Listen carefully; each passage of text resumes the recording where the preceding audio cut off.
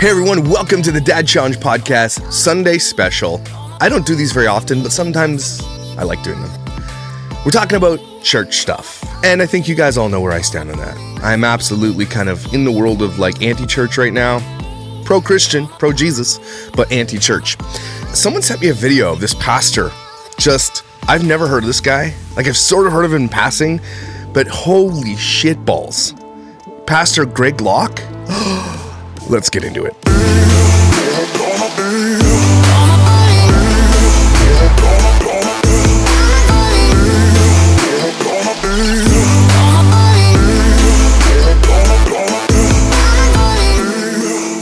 So I came across this TikTok. Her name is Duchess Prim, and it's I don't know about her, but she's it's the perfect name for who she looks like. She's yes, I agree, Duchess Prim.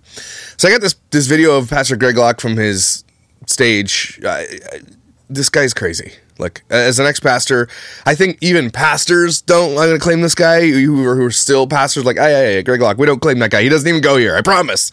Greg Locke is one of the biggest hypocrites in the entire world. There's a there's an article out there about him about uh, what's going on in his world. But I want to show you Duchess Prim's video first because she's awesome. I just want to show you this. So this is his new wife, apparently. Just to, take a good look at her, okay? Y'all didn't see that, right? She titled it When He Loves You Like Christ Loves the Church. That's Greg Locke's new wife. You know, his former assistant who he had an affair with, allegedly. Tai, honey, did he love his ex wife like Christ loved the church? While he was spitting on her, beating her, fat shaming her, and wishing her dead via text? If you haven't seen the text messages, I have them. I'll send them to you. Can you send them to me? I'd like to see them. No, by the looks of your page, I don't think you give a shit about any of that. I think you just like this weird form of fame and the money. I mean, that video with Roger Stone just tells me everything I need to know. So when you come to figure out that he is exactly who we've all been saying he is, don't come crying to us. Because karma is a bitch. Ooh, that's. Something tells me don't mess with the Duchess, is what something tells me. So I started doing a little bit of a deeper dive, and I'm gonna um, obviously just a just a hair. You know me. I just I like to learn with you. I like to just kind of do this together. So I, I got this article from Black Christian News. So take that from for what it is. I don't know what that is, but they got an article on it. So, ex wife of popular Christian internet pastor Greg Locke says he spit on her and he hit her and he shares text messages he sent cursing her. This is a pastor, everybody. If you have any scandals, like even one of Greg Locke's scandals, it's time to step down. You're a distraction. You can't preach the gospel from a stage while being this type of person. You just can't do it. And there are pastors who have stepped down for way less than Pastor Greg has done. I'm not stop. I'm not even gonna call him Pastor Greg. Asshole Greg is what we're gonna call him. So, Greg Locke is a conservative pastor from Evangelical Church in Tennessee. He's best known for his popular Facebook presence, which features selfie videos, which he delivers sermons like the ones below, but targets gender neutral bathrooms, in which he details his questioning of customer service representatives. 18 million views. The scariest part about this is that he's got 18 million views on a video. The people agree with a Christian bashing anybody for any reason whatsoever. Look, Christians might not agree with LGBTQ stances and all that kind of stuff it, because it's what they believe the Bible says is wrong. Okay, but at the same time, the Bible, oh, Jesus also tells you to love people. So where is the love? Is there any love, or are you just gonna out, are you just gonna throw people away? Is there gonna be a time in the modern church where you're just gonna love people like you're supposed to? You might find that it'll work better just saying. But Locke's personal life is in shambles. He's divorced from his wife, whom he has four children, including two that were adopted. She's now living in a woman's shelter in another state. While he says that she's mentally ill. Okay, so uh, the church that supports Greg Locke that ties there, why are you still there? His ex wife is living in a woman's shelter and you, none of you are going to help her? These people that claim to know Jesus? You know, the one Jesus said to, you know, clothe the naked, feed the hungry, that those that Jesus? That's the one that you guys worship? That's no, no, nothing. Okay. No, it makes sense because most churches do that too. I get it. He's also fending off charges that he's an adulterer who has started seeing his ex wife's best friend. I don't use twat very often, but today the word is used. If you do that, you're twat. Other Christians have attacked him, calling him a failure for getting divorced, claiming he sent his wife away, and alleging that he has a new girlfriend who was a church secretary. It's, it's allegations, but A new report cited by Patheos Friendly Atheist column shows the situation may be worse as known. The report follows a Christian blogger who met with Locke's estranged wife Melissa at a restaurant in Georgia, where she now lives in a woman's shelter. Among the text messages shared with the blogger were messages in which he called her a deceitful bitch and suggested she was putting on weight. Again, if there's proof, and there is, because Duchess has proof of it, I'm sure I'll show you in a minute. Um, step down. No, you're not allowed to uh, be a pastor anymore. Nope, you can just go be a regular guy. You're not allowed to grift people while being this type of guy.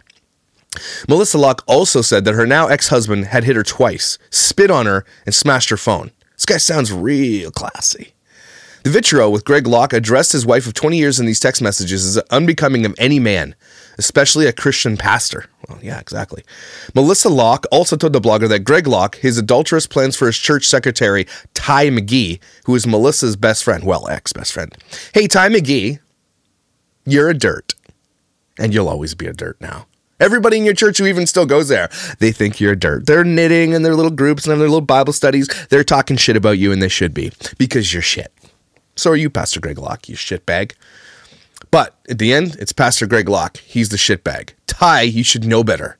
You're talking about being a woman of God. You can suck Greg's ass because don't come near me. Via Facebook, Locke maintains it's all made up. Well, we believe you. We, we totally believe you. To read such vicious lies and out of context things about the situation, people are ignorant of it is completely disabling. Of course, we said crazy, regretful, angry things and messages. Oh, so you admit it. Okay, good. Okay, got it. You, you admitted it. Mm-hmm. That's what happens when a relationship is going through such bitter unraveling and emotions in high gear. She didn't wrong you, Greg. Okay? Asshole Greg. She didn't wrong you at all. She's your wife. She has your kids.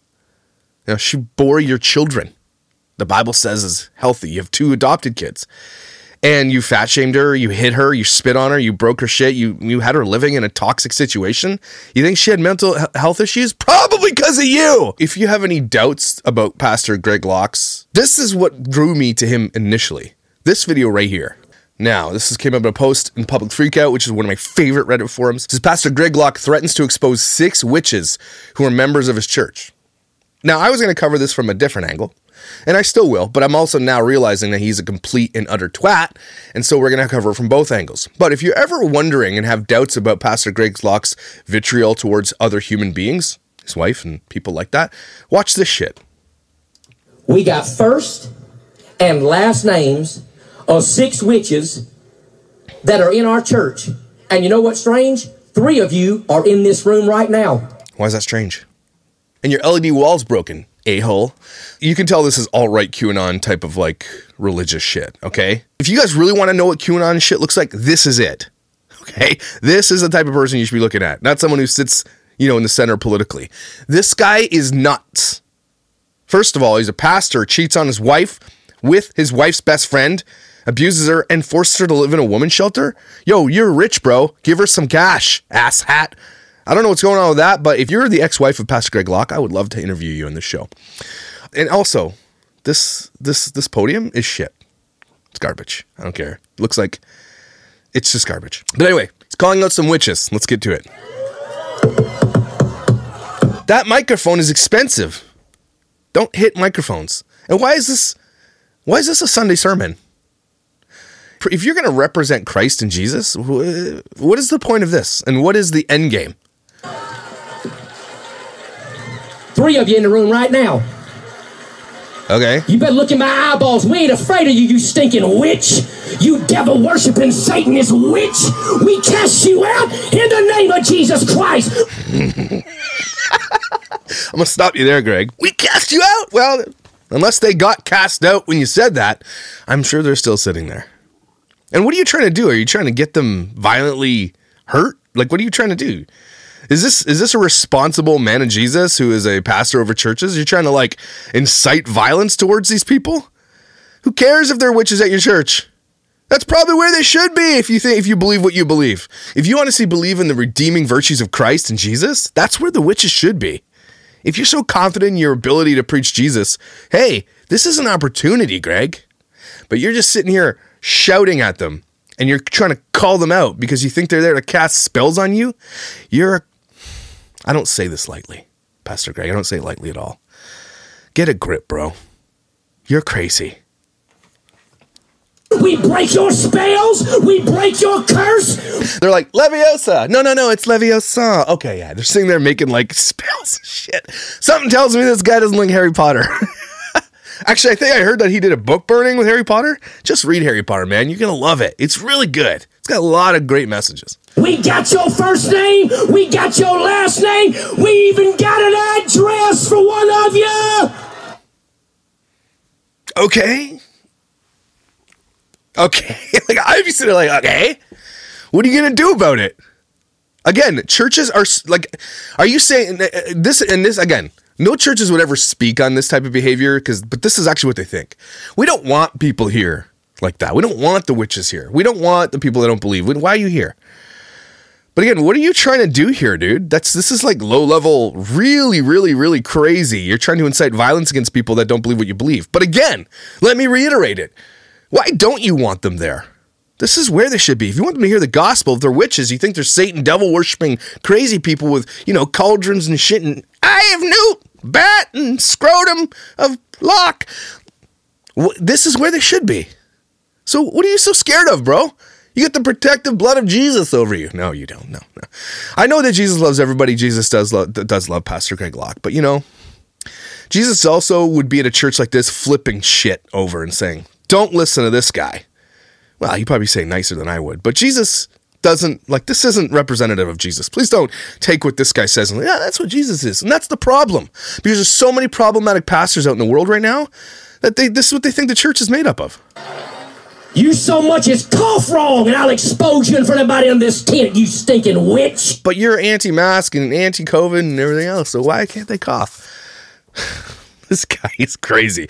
Anyway, I'm pointing to this behavior because if you don't think this is the way he treats his wife, you're wrong. This is how he treats his wife.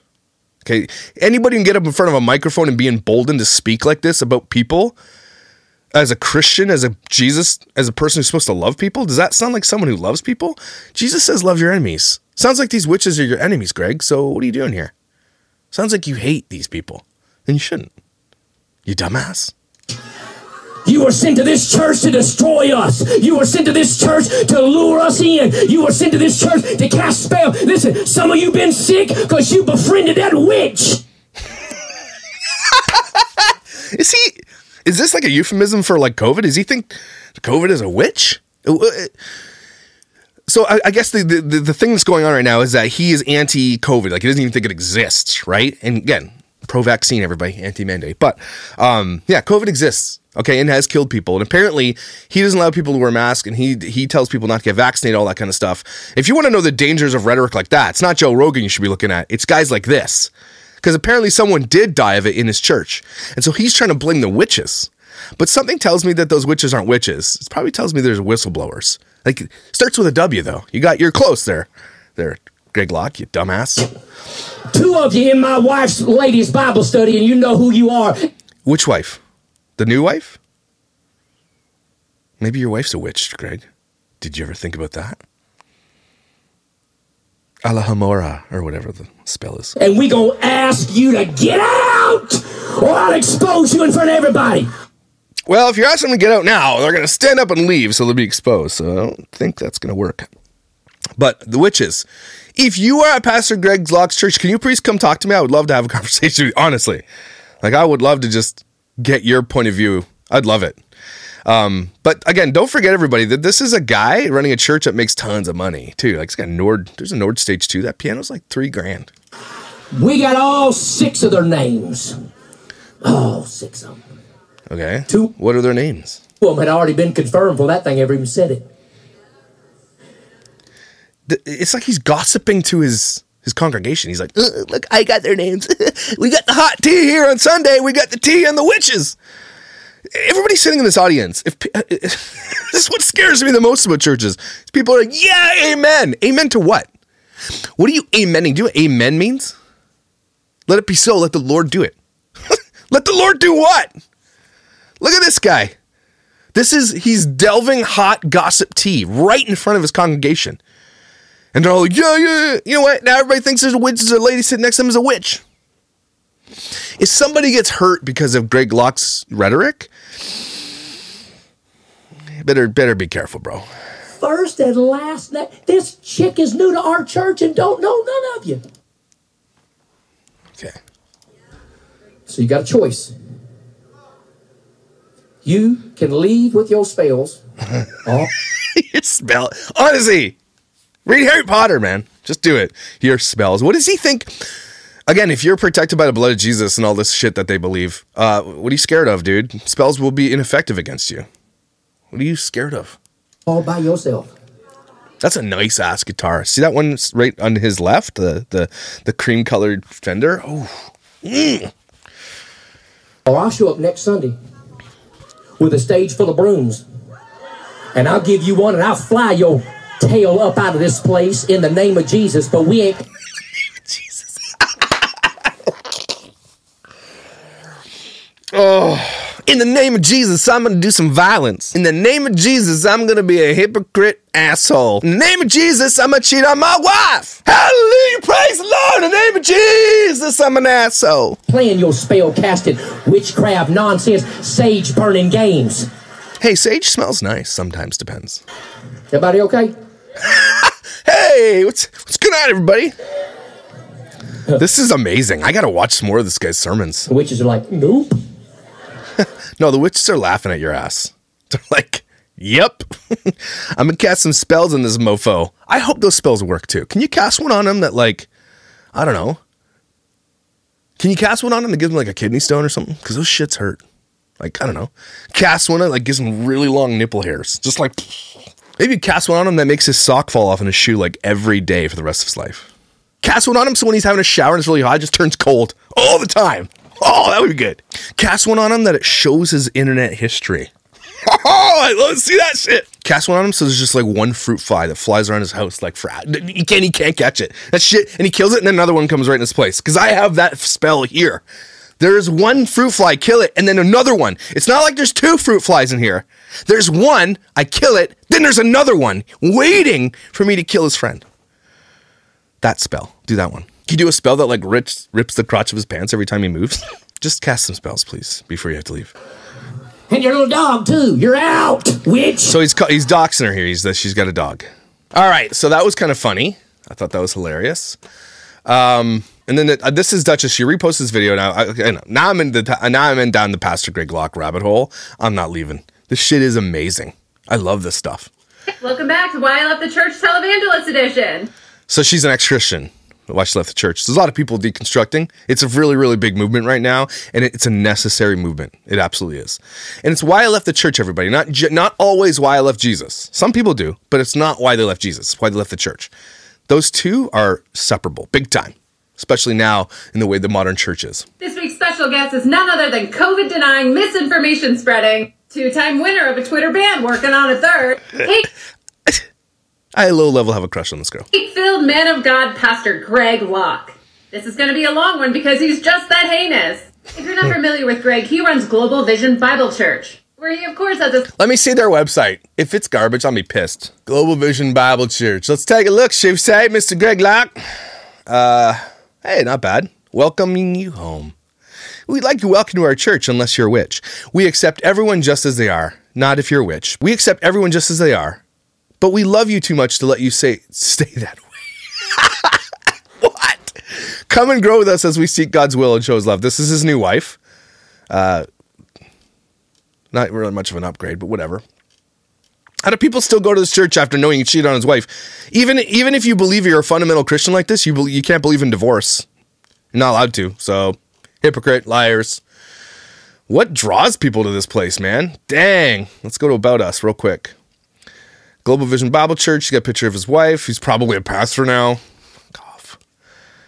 We believe the Bible is the perfect word of God. We believe the salvation is provided Jesus Christ alone. We believe in eternal salvation of believers. We believe in the Bible Trinity. We believe in the local New Testament. Okay. We believe the baptism is a fundamental step of obedience. Doesn't okay.